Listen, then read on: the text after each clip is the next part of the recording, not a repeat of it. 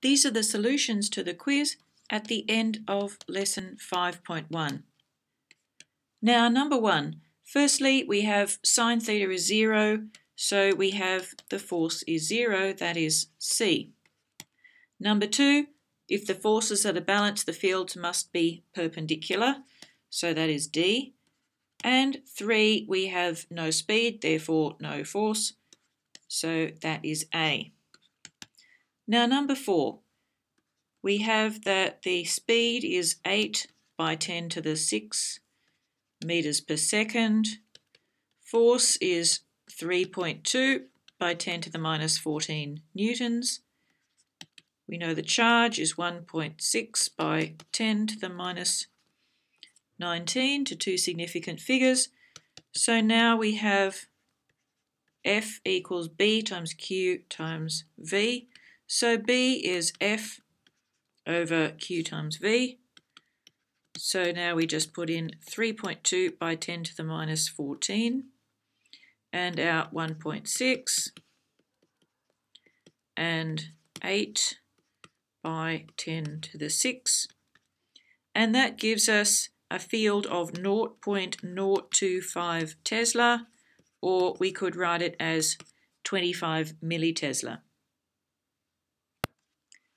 Now question 5, we have a charge that is now 2 times 1.6 by 10 to the minus 19 so that is 3.2 by 10 to the minus 19 coulombs.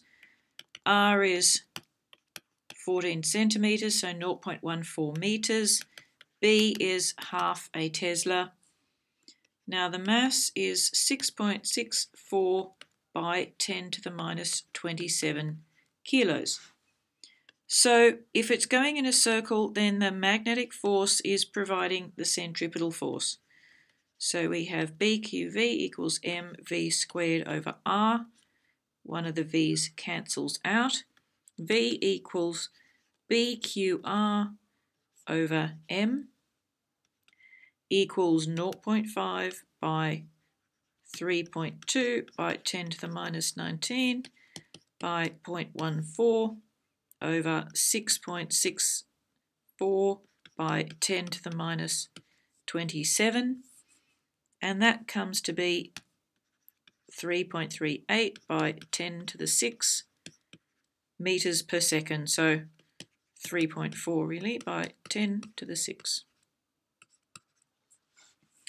Now number 6, the first bit, we've got a voltage of 350 volts. That means our energy, the kinetic energy it will have, is 350 electron volts. Now to turn that into joules, we have to um, get a smaller number of joules, so we are multiplying by Q. So we have 350 times 1.6 by 10 to the minus 19. So we have 5.6 by 10 to the minus 17 joules. Now that is going to be the kinetic energy, which is half mv squared.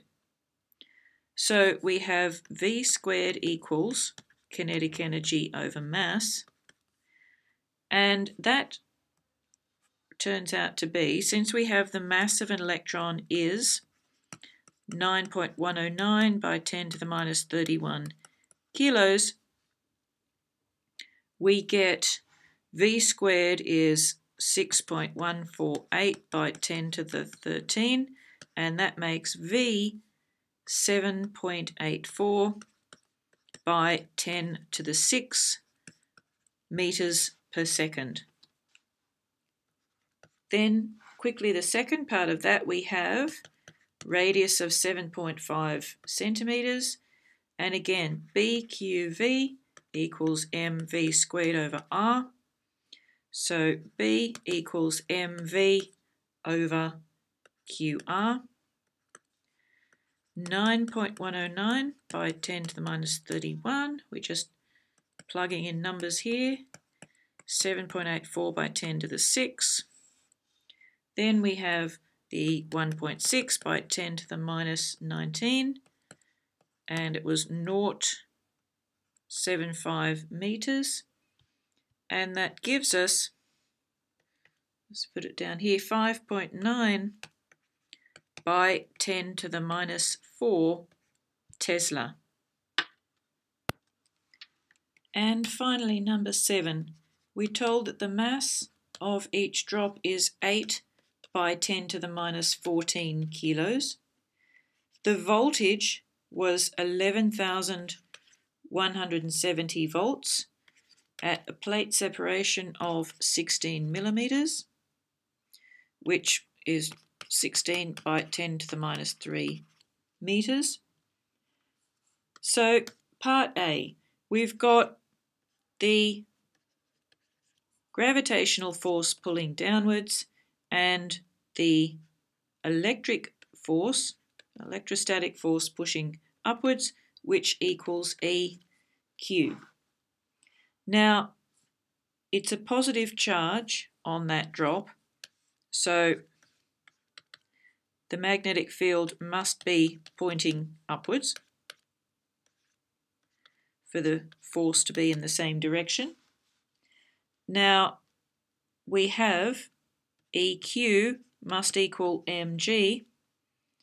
And firstly, we need the electric field strength, that is the voltage over the distance. So 11, 170 over 16 by 10 to the minus 3, and that is 6.98 by 10 to the 5 volts per metre, which is in fact the same thing as newtons per coulomb if you look at their base unit, so either unit is fine. Now we have that